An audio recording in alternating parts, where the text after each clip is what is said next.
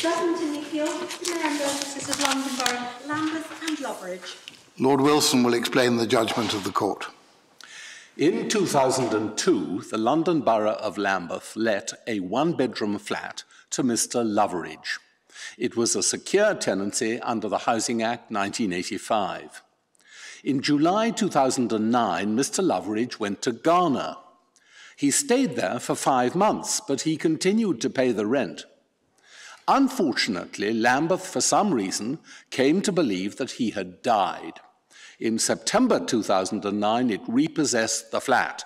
Soon afterwards, it disposed of its contents and relet the flat.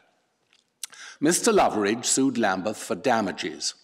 His Honour Judge Blunsdon found that its eviction of him had been unlawful. The issue is the amount of his damages, and it revolves around Section 28 of the Housing Act 1988. In 1988, Parliament was concerned about the shortage of accommodation available for rent in England and Wales. Property owners regarded letting as unattractive.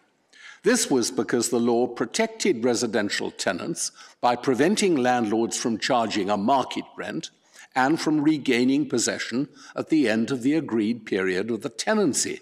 So, in 1988, Parliament decided that, broadly speaking, there should be no new protected tenancies, and it developed other models of tenancy called assured tenancies, which would enable landlords to charge market rents and also, in some cases, to regain possession at the end of the agreed period. But Parliament was concerned that these reforms would lead unscrupulous landlords to evict existing protected tenants in order to enable them to relet the property under these new arrangements more favourable to themselves. So, in order to deter unlawful evictions, it enacted Section 28 which broadly provided that, by way of damages, the landlord should pay to the unlawfully evicted tenant not the conventional amount of his loss, but, if higher, the amount of the gain which the landlord had made as a result of the eviction. Local authority landlords, although not the target of Section 28, were not excluded from it.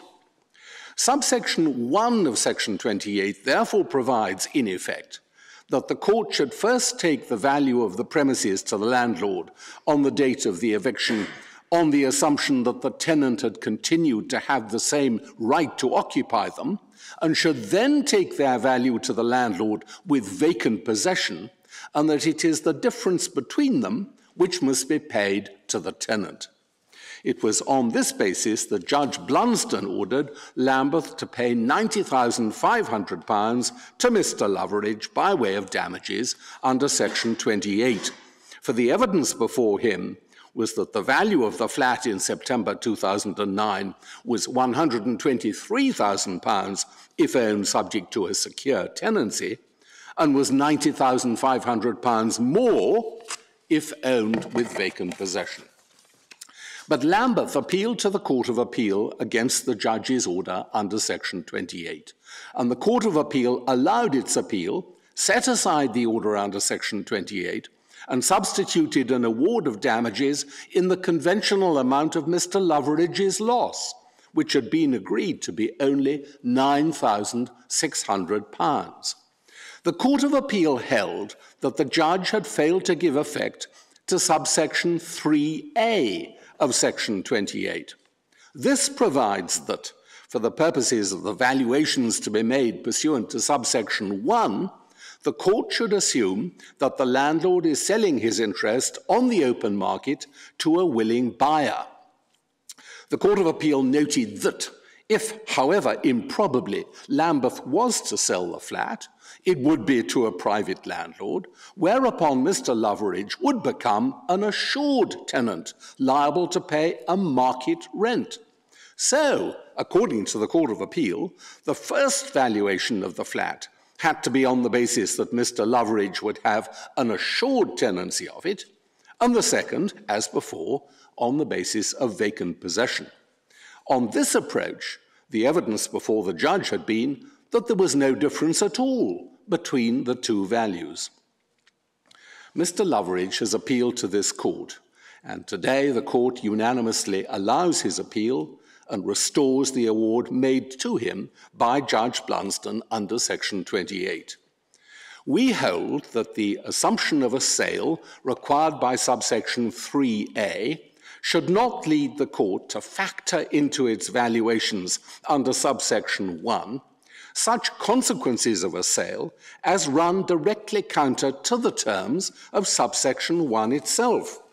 Subsection 1a describes the assumption behind the first valuation as being that the tenant would continue to have the same right to occupy as before the eviction.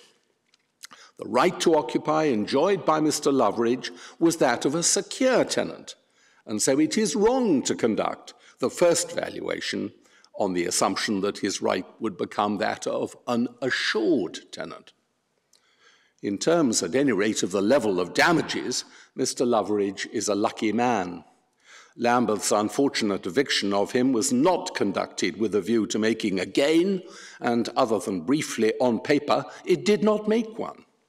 Parliament might usefully reconsider whether to continue to include local authorities within the regime set by Section 28 for payment of damages for unlawful evictions at, in effect, a penal level. The court is now adjourned.